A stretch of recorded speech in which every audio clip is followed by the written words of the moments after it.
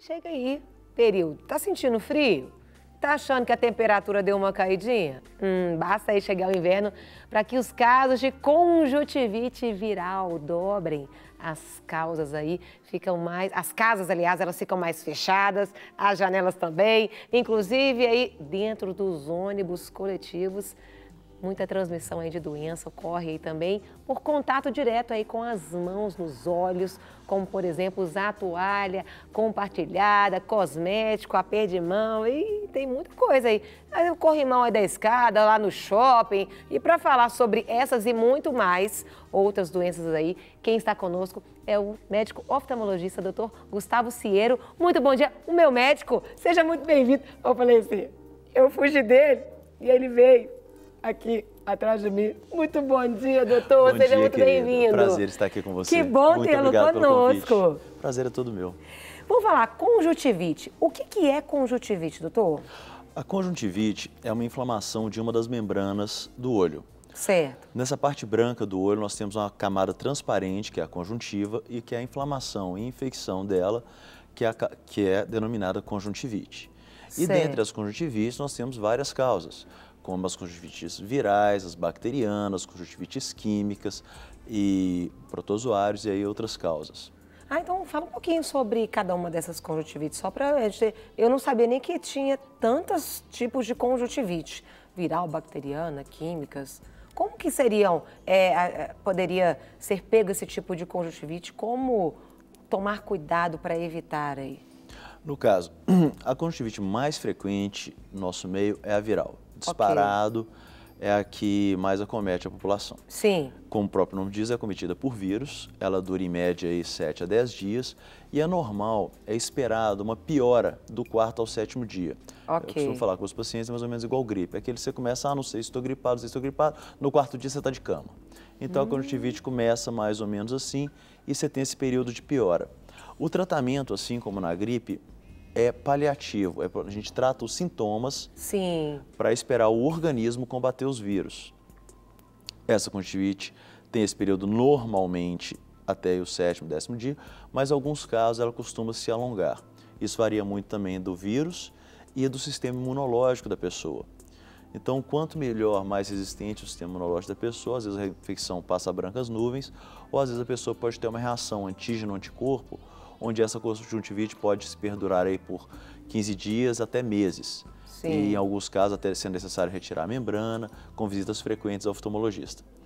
O caso é, independente da, da causa da conjuntivite, é sempre Certo. importante procurar um oftalmologista, porque pode ser, como falei, uma conjuntivite viral, às vezes pode ser uma conjuntivite bacteriana, que os sintomas são um pouco diferentes, você tem mais secreção, aquela secreção brancacenta. Ela é mais forte, a bacteriana, do que a viral? Depende do vírus ou da bactéria envolvida e Certo. também da resposta imunológica do paciente. Então, ah, como eu falei, é sempre bom diferenciar, porque tem várias outras doenças que causam o olho vermelho e não são necessariamente conjuntivite. Então a conjuntivite viral é aquela conjuntivite o paciente fica normalmente lacrimejando, olho vermelho, acorda com o olho todo coladinho de remela. Isso é o quadro típico da conjuntivite viral. Sim. Mas como eu te falei, é sempre bom ter o diagnóstico diferencial. Já a conjuntivite bacteriana fica saindo aquele monte de pus, é soltando pus o dia inteiro, o quadro é um pouco diferente, as queixas são um pouco diferentes. E temos também conjuntivites químicas, como por exemplo, essa semana mesmo, uma paciente minha, por engano, pingou remédio de micose no olho. Ai, meu Deus do céu. E aí gera uma conjuntivite química. Jesus amado, ah. E você tem também ah, outras conjuntivites até de origem, E aí pode também dar pus, tudo isso? sim, a conjuntivite, a química também, que também depende do grau de acometimento do olho Entendi. e do agente que causal, entendeu? Por exemplo, muito é, a construção civil, cai cal no olho, que é uma queimadura Olha. química e aí já é, uma, já é um caso até mais grave. Eu queria até perguntar, esse período, por exemplo, a gente usa muito, né, tem o ar-condicionado, você entra. Isso faz com que a conjuntivite ela prolifere mais? Você tem mais facilidade em poder transmitir, fica com mais facilidade a, a, a transmissão da conjuntivite? doutor? Pois é, como você mesmo falou, a, a conjuntivite, a transmissão da conjuntivite viral ou bacteriana é por contato. A conjuntivite viral é muito, extremamente contagiosa, a bacteriana nem tanto. Mas então, frio, ambiente fechado, as pessoas ficam mais próximas, então facilita o contato. Outra coisa, o frio dá uma baixa de imunidade nas pessoas, hum. que também contribui para organismos oportunistas, para vírus oportunistas causarem essas conjuntivites. Outro caso também, esse clima muito seco. Sim. E mesmo aí o uso do ar-condicionado. Se você resseca o olho, tem o olho mais seco, você tem uma superfície ocular acometida, tendo aí porta de entrada para micro-organismos, que facilita também o aparecimento de conjuntivites. Então são o conjunto de fatores que, que pode levar ao aumento de, da incidência nessa época do ano. Como que a gente faz? Porque, por exemplo, quanto tempo que esse vírus ele, ele sobrevive? Por exemplo, pessoa está com conjuntivite, eu estou num lugar e aí ela foi encostou aqui. E aí eu venho e encosto. Isso pode transmitir também? Quanto tempo sobrevive esse vírus ou não? Tem que ser coisa muito rápida ou tocar? Como que seria, doutor? O, sobre, o, o vírus só sobrevive dentro das células ou no meio, inter, no meio celular. Certo. Então, por exemplo, seria no caso de secreção. Se você pegar uma, uma, uma, uh, mão cheia de lágrima ou até mesmo catarro, por exemplo, que, que ali fica uma, um meio viável para esse vírus com células, ele vai resistir ali mais tempo. Certo. Agora, uma mão seca, num lugar limpo, higienizado, o vírus não dura muito tempo, ele morre rápido. A questão mesmo é o contato interpessoal. Então, por exemplo, eu rapidamente, como você citou no ônibus, cocei o olho, Sim. pus a mão ali no ônibus, outra pessoa logo em seguida pôs a mão ali e coçou o olho. Isso aí que facilita a transmissão. Até mesmo de um olho para o outro. Você pode ter conjuntivite apenas num olho. Sim. Se você tiver cuidado, você não vai necessariamente ter no outro. Não é porque tem num olho que vai passar para outro olho. Hum. Eu queria perguntar se a utilização de óculos, às vezes a pessoa está com conjuntivite, ela coloca um óculos de sol e continua nos ambientes. O óculos ele tem essa capacidade de prevenir mesmo que esse contágio ele aconteça com as pessoas, porque tem gente que às vezes uhum. usa o óculos e continua aí a vida. Não, o caso é o seguinte, o, o óculos ele vai lembrar a pessoa de não tocar nos olhos. Só que a conjuntivite, ela coça, ela arde. Então é quase que instintivo, é quase que automático a pessoa, sem perceber, passar a mão nos olhos e acabar contaminando. O ideal é, se você está de conjuntivite, a menos que esteja mesmo que seja imperativo de você ir trabalhar, procure um oftalmologista e se resguarde, porque senão de uma pessoa você contamina uma empresa inteira e aí complica a vida. Mas a questão do óculos, não, ele não impede a transmissão. Entendi. A questão da transmissão é por contato. Às vezes ele só lembra a pessoa de não pôr a mão no olho. Eu pergunto, é, conjuntivite, existe idade? Tem, existe, tem alguma idade que as pessoas têm mais? Tipo a criança, o adulto, o jovem, o idoso? Existe isso, doutor? Ah, tudo volta também na questão do interpessoal e questão do sistema imunológico. Então, Sim. as crianças, como estão fortalecendo ainda seu sistema imunológico, sua entidade escolar, e tem muito contato também hum. com as outras crianças, também é a questão da higiene, que ainda não está muito bem estabelecida. Então, se transmite muito fácil, se pega muito fácil. Então, a gente tem notado, no serviço de urgência, muitas crianças essa, nessa faixa etária com conjuntivite por conta dessa relação interpessoal.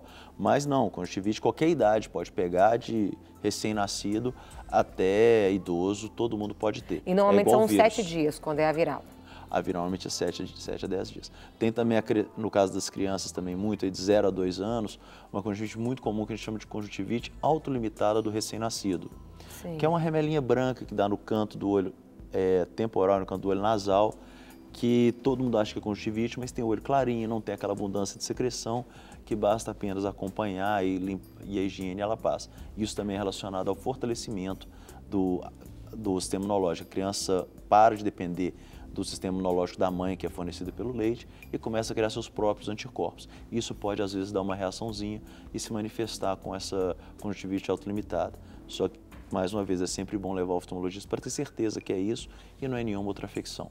Aí eu pergunto, o bebê, você vai levar a, a mamãe que está lá em casa? Se você tem alguma dúvida, envia sua pergunta para a gente no 98402 9756. Doutor, no caso de a mãe que está lá com o bebezinho e está observando, ela leva ao oftalmologista ou vai ao pediatra? Às vezes a dúvida que a mamãe pode surgir aí.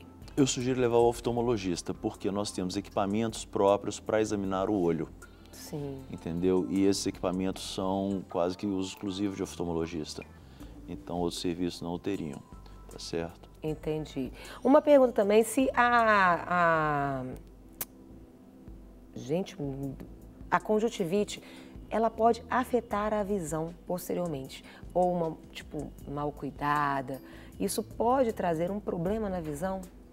A conjuntivite, toda conjuntivite, no caso, se não tratada, se não bem acompanhada, Sim. e dependendo da gravidade do caso, pode acometer a visão. A conjuntivite viral, por exemplo, ela tem, quando ela se estende para esse período que eu falei de prolongado, mais de 15 dias, certo. pode ocorrer de, de, apresentar os infiltrados subepiteliais. É uma reação antígeno-anticorpo na córnea do paciente que atrapalha, que embaça bem a visão.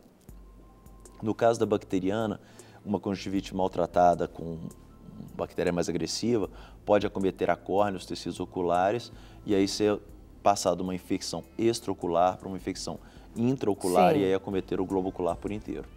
Como que é feito aí, doutor, é, o tratamento da conjuntivite? A conjuntivite viral, é, como eu falei, a gente trata os sintomas. A gente passa colírios para aliviar os sintomas do paciente até que o organismo combata os vírus, a menos que seja nessa fase mais prolongada, que a gente tenha que entrar com um tratamento específico. Já a conjuntivite bacteriana, é necessário Sim. entrar com antibióticos a conjuntivite química, dependendo do acometimento, desde soro fisiológico apenas até anti-inflamatórios esteroides ou um antibiótico profilático. E aí varia muito da, da gravidade. Uma Pode, pode, pode, completar. Não, a importância também é porque, como você falou de causas aí de, de conjuntivite, tem muitas outras patologias, como herpes, é, uveíte, ou episclerite, outras inflamações do olho, que as pessoas acham que é conjuntivite e não é. Hum. Úlcera de córnea, ceratite. Então é sempre bom a gente estar avaliando para ter esse diagnóstico diferencial. E quanto mais precoce o diagnóstico e o tratamento, uma, melhor a evolução, melhor o prognóstico. Para quem usa lente conjuntivite, como lidar com isso, doutor? Então, isso eu vou falar especialmente para minha paciente, conjuntivite e lente, nem pensar. Não, graças a Deus eu nunca tive conjuntivite assim. Não, não, você teve, foi só outra coisa. Mas o caso é o seguinte, conjuntivite e lente são incompatíveis. Se você está com uma suspeita de conjuntivite, suspenda o uso de lente, hum. vá a um oftalmologista antes de retomar o uso de lente, porque você pode estar com uma inflamação ou uma infecção secundária às lentes. Doutor Gustavo, ficaria com o senhor aqui a manhã inteira, porque é uma aula. Então, obrigado, como não dá para ficar amanhã inteira, então deixa o convite para voltar novamente. Será um prazer. Muito obrigado. Mas eu vou levar ele lá na rádio, gente, para ele falar um pouquinho mais. A gente deixa ele falando um tiquinho mais a respeito desses assuntos e você fica aí conectado conosco. Para receber todas as novidades do canal, inscreva-se e se curtir o vídeo, clique em gostei. Aproveite para acompanhar a Rede Super nas redes sociais.